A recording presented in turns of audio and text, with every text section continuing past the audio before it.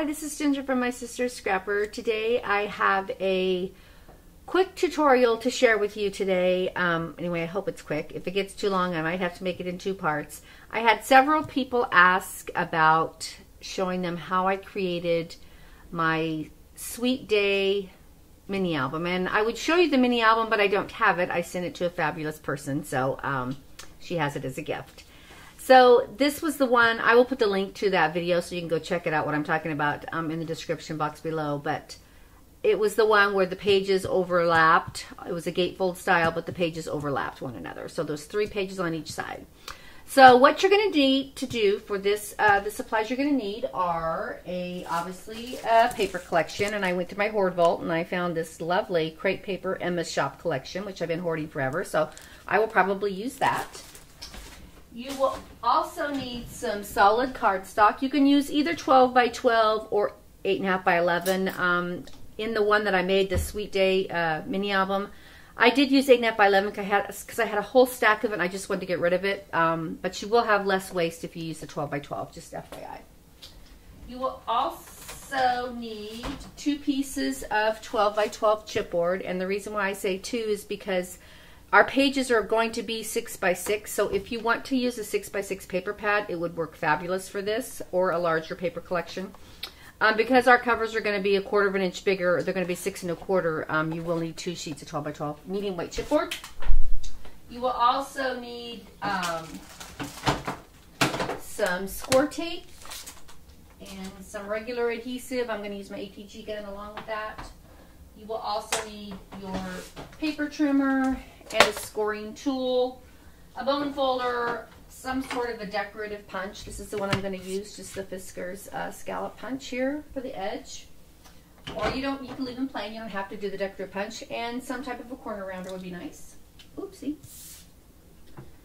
So I will also put all the measurements I'm going to give you in the description box below. So um, I will have them here if you want to jot them down, but they will also be in the description box.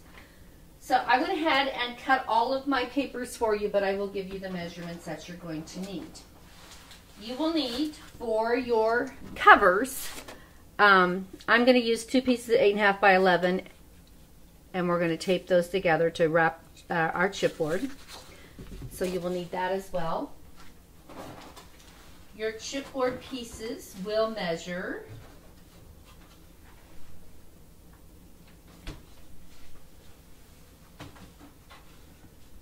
For the back, you're going to need a piece that is six and a half by six and a quarter high.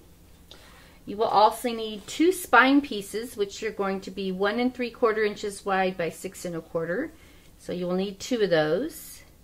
And then you will need two front covers, and those are going to be three and a quarter here and six and a quarter high.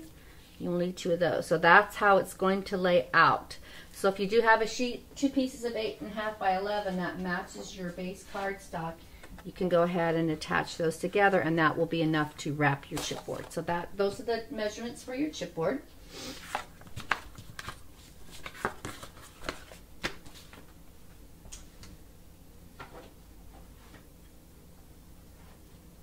So then for our pages, you're going to need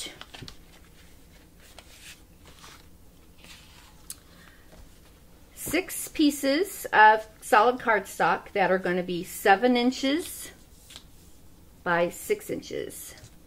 You're going to need six of those and you're going to score those a half an inch on both of the, on the seven inch side. You're going to put it in your scoreboard and you're going to score it a half an inch on both sides. And I will show that here in just a second. You will also need six pieces that are six by six. So these two pieces are going to create our pages.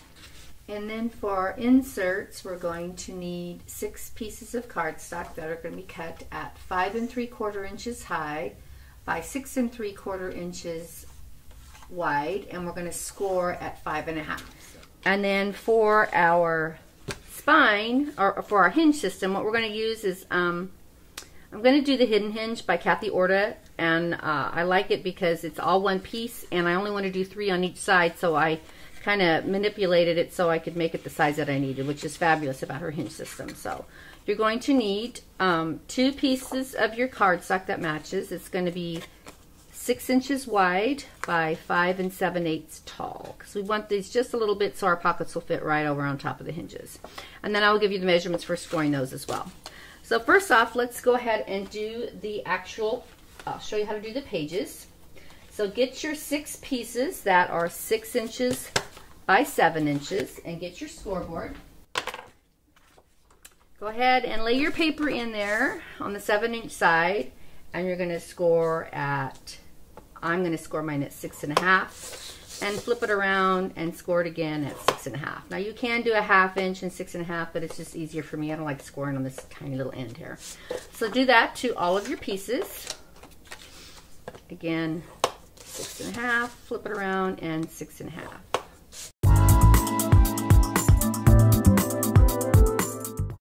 Okay, so once we get that done, we're going to go ahead and fold on done with our scoreboard for now. Fold on all of our score lines.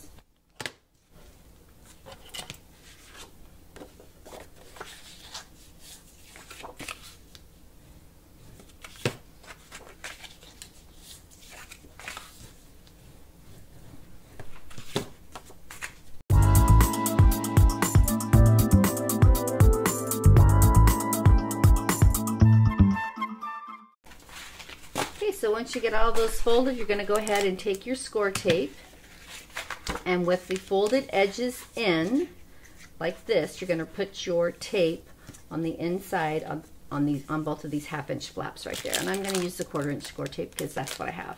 If you have the half inch, that's fabulous.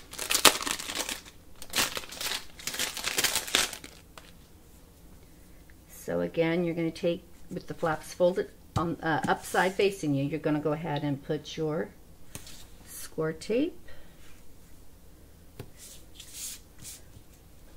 on both edges, just like so.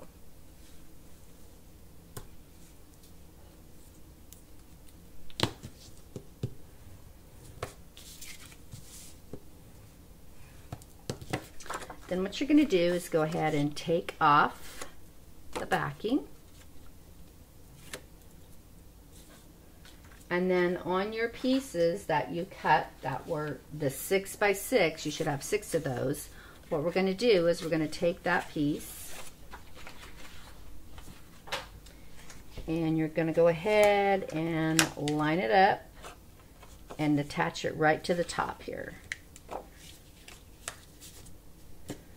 And try to get it as straight as you can. And this score tape is really sticky, so I might do it this way. On the top.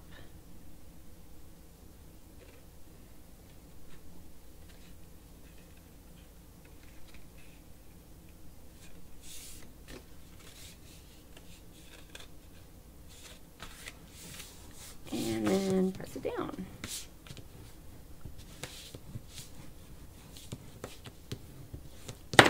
So there is your page. We're going to have one side is going to be attached to our hinge and the other side is going to be our pocket. And if you went a little off, like clearly I did, you can just go ahead and take your scissors and trim off the excess. So go ahead and add the score tape to all six of your pages and attach these pockets or these papers right on top of your line. So go ahead and get that done.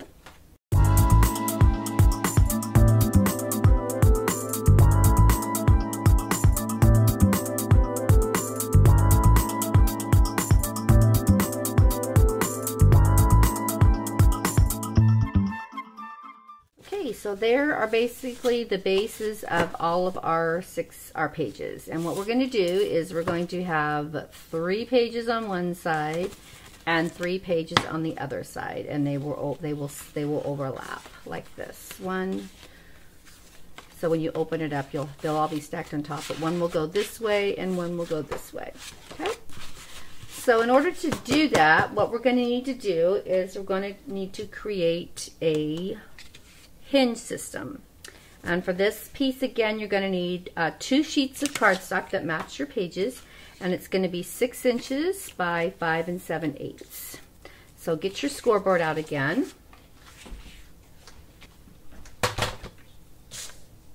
And on the six inch side, what you're going to do is you're going to score, your first score mark is going to be at one and a quarter. The next score mark is going to be one and three quarters. And then another two and one quarter inches is your next score mark.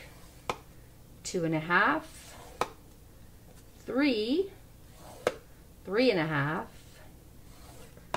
three and three quarters, four and a quarter, and four and three quarters. Okay, so do that to both of your pieces. Again, you put it in here on your six inch side, and your first score mark is one and a quarter, one and three quarters, two and a quarter, two and a half, three, three and a half, three and three quarters, four and a quarter, and four and three quarters. Okay, so that leaves you with an inch and a quarter on both sides, and then you should have a half, a half, a quarter, a half, a half, a quarter, and a half, and a half. So what we're going to do next is go ahead and we're going to fold on our score lines. So the easiest way that I found to do it is I score, I fold my first one up, and then I fold my next one up. And then what I do is I skip that next to the, the little quarter inch line and I fold the next line up. So I have a half inch gap. And then I fold my half inch because your half inch is actually your hinge and those quarter inch spaces are your spaces in between your pages. So when you get them folded like this,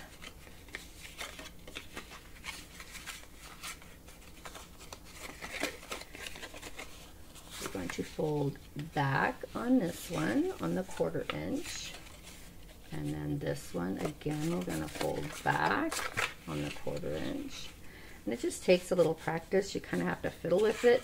But it is a fabulous, fabulous binding system. I absolutely love it.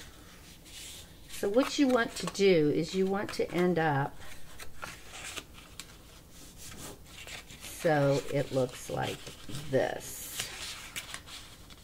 So you have your hinges and then you have that quarter inch space in between the two hinges or the three hinges there's two spaces and then your one and a quarter inch. So what we're going to do is we're going to go ahead and flip that over once we've scored it and you're only going to take your score tape and put it on that one side of the half inch. So I'm going to put it right here on my first half inch. Skip the next half inch, skip the quarter inch, and then put it again on the half inch.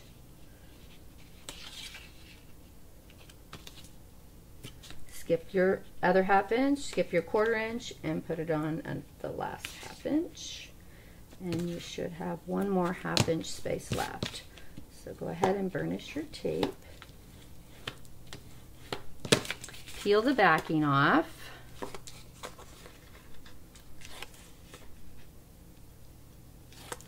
And go ahead and attach your hinges together. So you're going to put the half inch pieces together like this. Put the other half inch piece together and put the last half inch piece together. And it should look like this when you get it finished. Now with this system, I have found that you do need to really work your folds. Fold them back and forth and back and forth. So you really want to make sure that you use a cardstock that is not going to tear. So your pages will turn better the more you work your, your folds back and forth.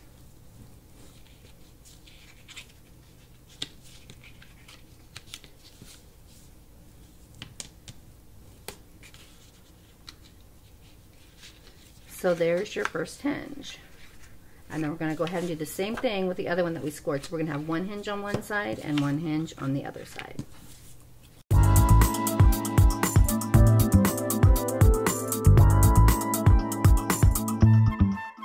Add your tape to the half inch, skip the half inch and quarter inch, add your tape again to the other half inch, skip the half, skip the quarter, and put it on the next half inch. Now, you could put it on all both all the half inch spaces, but it's not necessary. But you could. So if you get confused about where to put the score tape, just put it on all the half inch ones and you're good. Peel the backing off the first one. And peel the backing off the second one. And the last one.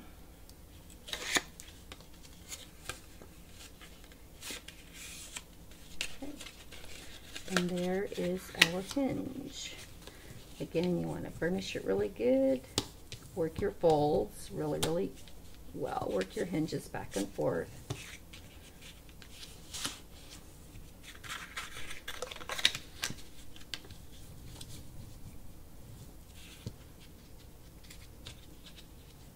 So there are our two hinges?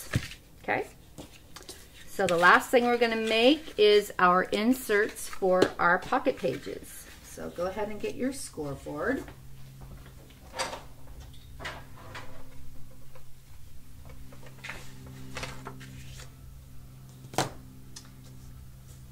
And you're gonna lay it on the six and three quarter inch side and you're gonna score at five and one half inches.